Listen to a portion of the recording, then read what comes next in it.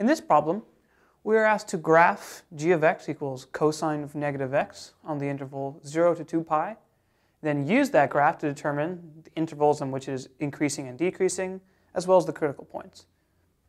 So let's set up a graph, or coordinate axes rather.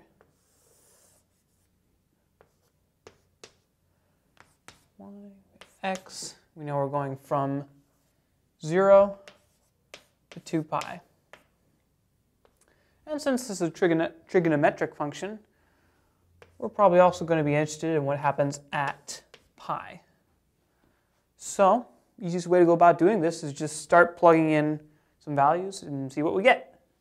So we'll start with 0. Cosine of negative 0 is the same as cosine of 0, which is just 1.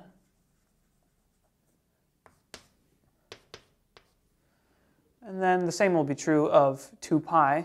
Cosine of negative 2 pi is the same as cosine of 2 pi, which is just 1. And the cosine of negative pi is negative 1.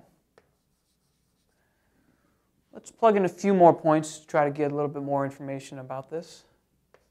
We'll do 3 halves pi and 1 half pi. So if we plug in 1 half pi, so we get cosine of negative 1 half pi. Well, that's just 0. And the same will be true if we plug in 3 halves pi. Both of these are equal to 0.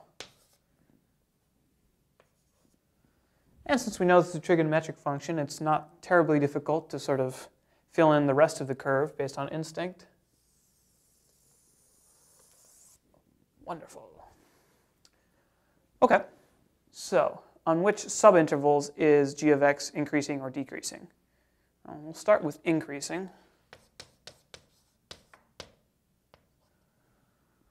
And looking at the graph, you can see that from pi to 2 pi, it looks like it's increasing. So from pi to 2 pi, it's increasing. When is it decreasing?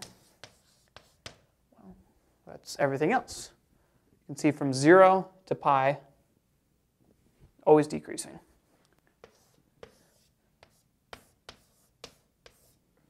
Easy enough. And what are the critical points? Well, the critical points, by our standard definition, is anytime the derivative is equal to 0. But we're just looking at the graph, there are a couple different ways you can think about it. One is anytime you have a point that fits in both an increasing and a decreasing interval. Another way is any anytime you have a tangent line that is horizontal or appears to be horizontal, it's a good indication that the derivative is going to be 0 there or it's the only indication, derivative 0. So it's clear from this that we have three different critical points. One here, one here, and one here. So critical points are at x equals 0, x equals pi, and x equals 2 pi. Good stuff. And that's the end of the problem.